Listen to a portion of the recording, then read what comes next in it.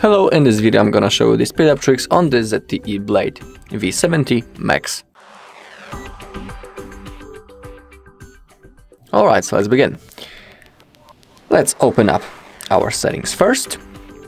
Now let's scroll down into the bottom until we find the about phone informations. We want to click on that and now we want to click on the build number a few times until we see information that we are now a developer. So let's perform that.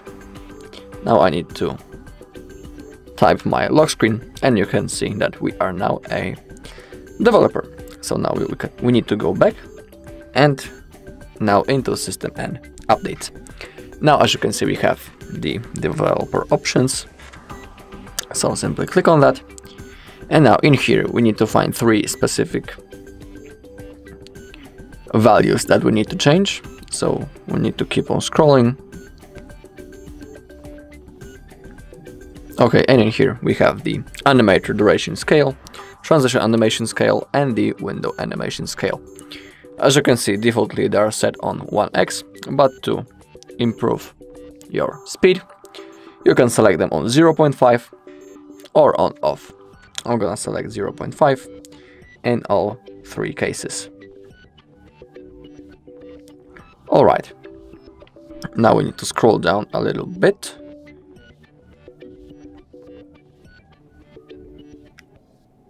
And find background process limit. Click on that. As you can see now it's set on standard limit, but to improve the speed and the performance, you can, you can select at most 3 processes or at most 4 processes. So it's up to you. Alright, so that's all that we need to do in developer options. Now let's go straight into the storage. Okay, and in here we have our apps and data. So let's begin with that. And in here, as you can see, we have all our apps that are installed on our phone. And when it comes to that, for example, this game, if we have some unused apps, we need to simply uninstall them. Click on OK, and as you can see, the game has been uninstalled. Same thing with the Block Blast. And when some apps have have the cache, for example, such as Google TV, you can click on Clear Cache from time to time.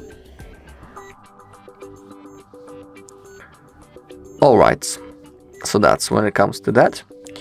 You can also click on the system data, click on OK.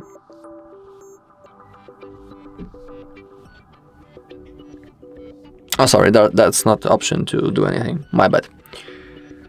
Alright, now also to speed up your phone when you go to the recent apps. If you have some apps that are still running in the background, you can simply get rid of them by performing this move or by clicking that X button that is right in here. Okay, now we can click on clean up this app, click on agree, click on allow, allow all. And for now, it's the app says that we have enough space and no need to clean up.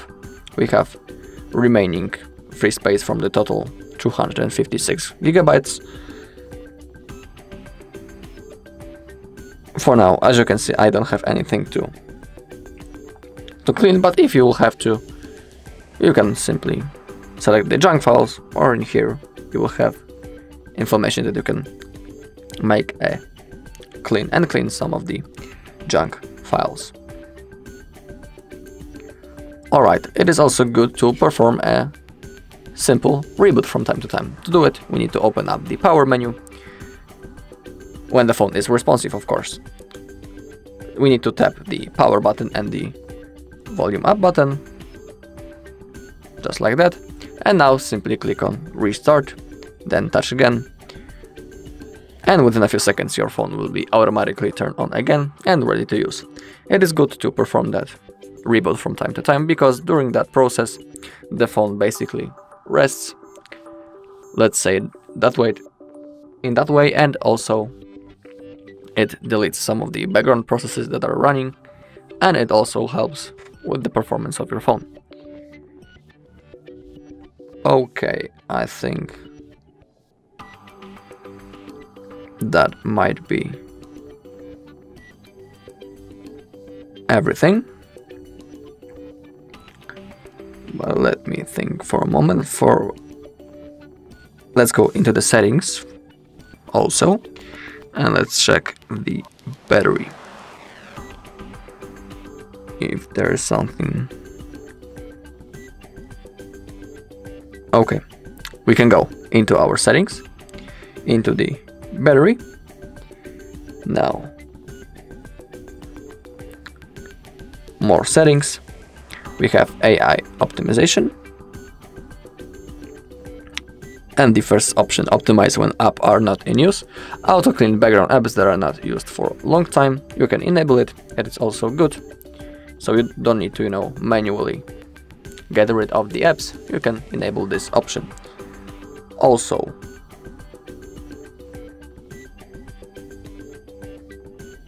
no we don't want the power saver. We can also enable the scheduled restart.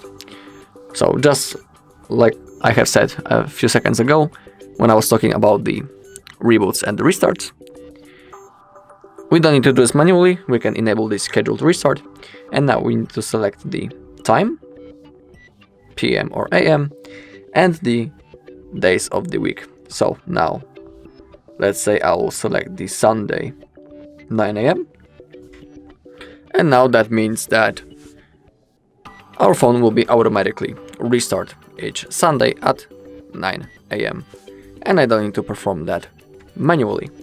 And you can also see a quick information downside. You can set the time to restart your device. The device will restart automatically in the condition of screen lock is off, battery level is higher than 30%, SIM lock is not used. After this operation, your device will be clean. That's good to have in mind. And when I was talking about the reboot, I forgot about the force restart because I was showing you only the the method through the power menu when the phone is responsive, but let's say that the phone is unresponsive, we can perform any action, we can perform the force restart. To do it, we need to open up the power menu and you can also see the information on the bottom you may press and hold power button for over 10 seconds to force restart the device. So let's perform that, let's keep on holding.